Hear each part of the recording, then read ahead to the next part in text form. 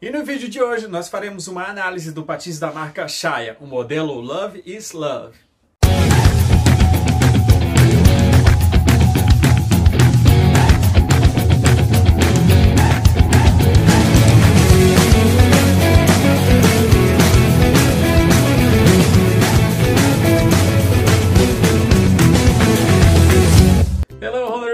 Tudo bem com vocês? Eu sou o Richard e sejam muito bem-vindos a mais um vídeo do meu canal de patinação Deslizando com Quad. E no vídeo de hoje nós vamos deslizar uma impressão do patins da marca Shaya, o modelo Love's Love, como eu falei lá na introdução. É um patins que tem para vender aqui no Brasil e muita gente fica em dúvida se vale a pena ou não vale comprar por conta do preço, porque vem de fora, porque é importado. Mas hoje nessa análise nós vamos acabar de vez com essas suas dúvidas. Então, bora lá! Bom, gente, para quem não conhece, a Shai é uma marca de patins da Power Slide, que vende patins para roller derby, agressive, roller dance e de gelo. E aqui no Brasil, a gente encontra alguns modelos disponíveis para comprar, mas como é um produto importado, ele, ele às vezes acaba ficando bem carinho, quando junta os impostos e converte real, enfim. Também, às vezes rola alguma promoção, e aí o pessoal sempre fica em dúvida, será que vale a pena mesmo comprar? E é aí que o vídeo de hoje entra, para ajudar vocês a ter uma noção sobre esses patins que a marca vende. Mas antes de começar, você já sabe, né? Deixa o seu like aqui embaixo para me ajudar, por favor. Isso ajuda muito os meus vídeos a chegarem a mais pessoas e a gente trazer mais patinadores para o nosso grupo. Se você é novo por aqui, não esqueça de se inscrever no meu canal e ativar o sininho. E não esqueça de compartilhar esse vídeo com seus amigos, hein? Então, vamos para essa análise. Bem, pessoal, já estou com o modelo da Shai aqui na tela para a gente começar a análise, mas antes eu preciso explicar algumas coisas para vocês. Eu não vou dizer se ele é bom ou é ruim, como eu sempre falo nos meus outros vídeos, eu não posso falar isso só se eu usar. E eu também preciso falar algumas coisas importantes para vocês.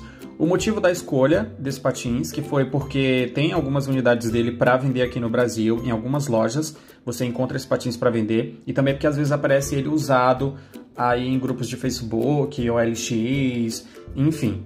E a segunda coisa que eu tenho para explicar para vocês é a questão do conceito dele. É, o conceito que eu falo é a produção, porque assim, esse modelo Shaya, Love is Love, ele foi feito com o conceito LGBTQIA+, com a proposta de inclusão e apoio a toda a comunidade gay do mundo. Então, por isso, as cores, o modelo colorido, enfim, é basicamente isso, tá? É só para vocês entenderem que não é um modelo assim, uma coisa pró, uma coisa, né? Mas como vende aqui no Brasil, a gente vai falar dele. Então, sem mais delongas, vamos lá. Vamos começar falando da bota desse patins. Como vocês já podem ver, ela tem um design muito bonito com as cores do arco-íris aqui. Isso é muito legal, chamou muita atenção das pessoas, isso é muito bacana. Uma coisa interessante que eu li aqui no próprio site da Shaya é que essa bota é uma bota vegana, então tem aí uma pegada ecológica, eu acho que esse é o termo, pegada ecológica, se não for me avise nos comentários, mas eu acho que é isso mesmo. Tem o um sistema de cadastros normais com 3, 6, 7, acho que 11 ou 12 furos, muito bonito. Ele tá nessa cor azul marinho. Ele tem outras cores, é, só que não dá pra ver aqui. Mas eu acho que é um rosinha. Rosinha num tom pastel. Mas o que vende aqui, eu acho que é esse azul escuro mesmo. Ele tem uma costura bem reforçada. E isso a gente pode ver é, aqui. Nessa foto aqui, a gente consegue ver que ele possui uma costura bem reforçada. Se vocês olharem aqui, ó. Tem uma costura aqui, tem uma costura aqui, tem aqui na frente também. Enfim, esse patins ele é bem reforçado aqui no, no corpo da bota. Isso eu achei muito bacana. Ele também tem um reforço na parte de trás, eu não sei se dá para ver aqui, é, não dá, dá, dá sim. Ele tem esse reforço aqui atrás, ó, isso é muito bacana, todo patins que tem isso aqui merece uma atenção especial, porque esse reforço aqui atrás é muito bom para evitar que a bota rasgue, então isso é muito bacana também. Ele tem um ganchinho muito bonitinho, muito fofinho, achei muito bacana. Deixa eu pegar aqui para mostrar para vocês. Aqui. É, tem um ganchinho, Love's Love, toda uma pegada bem, bem colorida, né? Bacana. A bota dele é extremamente acolchoada, gente. Aqui, ó, como vocês podem ver, é extremamente... Desculpa. Como vocês podem ver, é uma bota extremamente acolchoada, então ela é muito macia por dentro. Parece, né? Parece muito macia por dentro. Então isso é muito bacana também. Agora vamos descer e falar da base dele.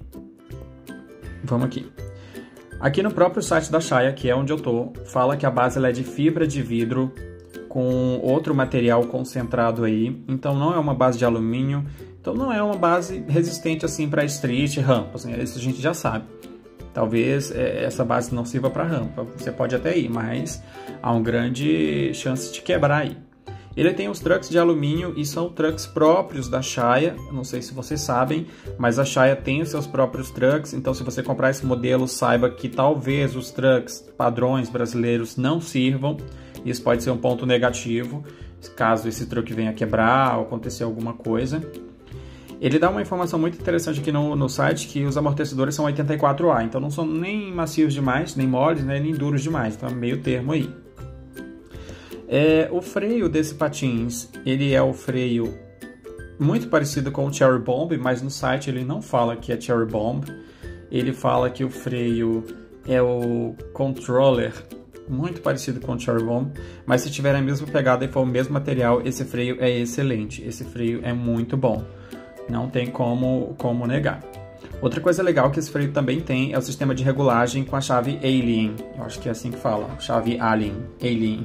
Eu acho que é Alien. Esse sistema de regulagem é bom porque você pode apertar bastante e que o freio não vai sair. Não é como aqueles que é de porca. É, aqueles apertos de, de porca pode acontecer de folgar com o tempo devido à fadiga e outros fatores. Outra coisa muito interessante também é que essa área aqui, como vocês observam, ela é de alumínio, então assim é bem reforçada para evitar que o freio spud, né? É... Isso raramente acontece, mas eu achei muito interessante esse detalhe aqui. Vamos agora falar das rodas desse patins. Essas rodas são as rodas Octopaceo, que não tem como negar, são rodas excelentes. Quem já usou sabe do que eu estou falando.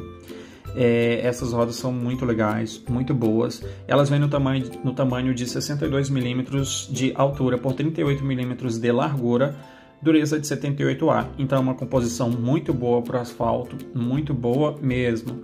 Acho que isso é um ponto muito positivo para esses patins.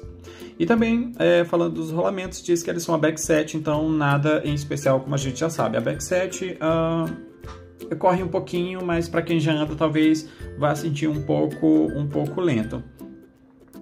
É... Então não tem muito segredo nos rolamentos. Então, como vocês podem ver, é, esse patins ele tem muitos pontos positivos, né? As rodas, o freio, é, a bota e a base, a gente vai falar disso já já. Não achei tão positivo não. Mas assim, os freios e as rodas, para mim, são muito bons. O design dele também é um patins muito bonito, como você pode ver aqui de lado, né? é, de um ângulo da diagonal, de trás, de baixo para cima. Ele é um patins muito bonito, tem um acabamento muito bom.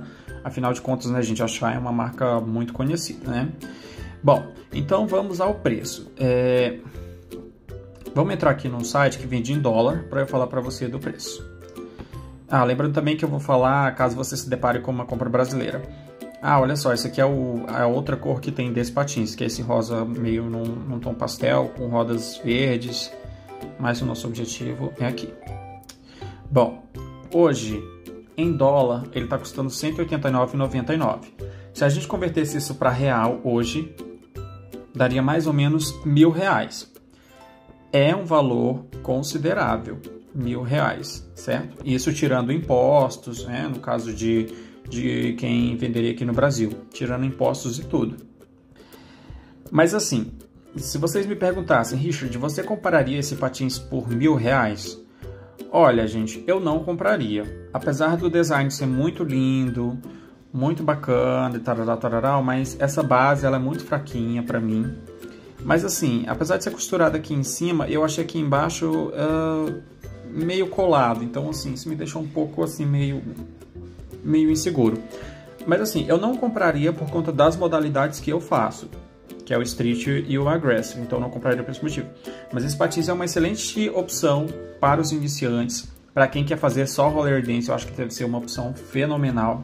Ou para quem só quer dar um passeio na rua, no parque, na pracinha, eu acho que pode ser uma ótima opção. Como eu disse, 189 dólares é igual a mais ou menos mil reais. Se você encontrar alguma loja, provavelmente vai ser mais do que isso. E se você encontrar ele usado, eu acho que vale até uns 800 reais, assim, 700, 800. Mais que isso, eu acho que não vale a pena, já fica muito caro. Acho que no Brasil você consegue comprar ah, alguma coisa melhor, então montar um muito bacana. É... Então acho que é isso, gente. Era só isso que eu tinha para falar. Espero que vocês tenham gostado dessa análise, de ter conhecido um pouco desse patins. Não esquece de dar o seu like, de se inscrever no meu canal e ativar o sininho.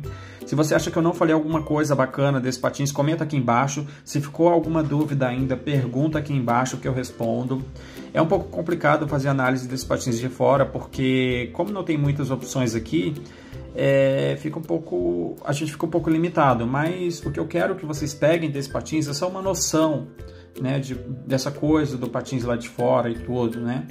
Mas lembrando que ele tem para vender aqui no Brasil. Então, se você se deparar com ele, é, julgue o preço e o que você quer fazer para saber se vale a pena. De repente, para o street pro agressive, eu não recomendo de jeito nenhum. Agora, para o roller dance e para um lazer básico, você pode comprar de olhos fechados, se você tiver aí é, uma grana para investir.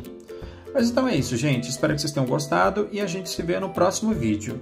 Tchauzinho!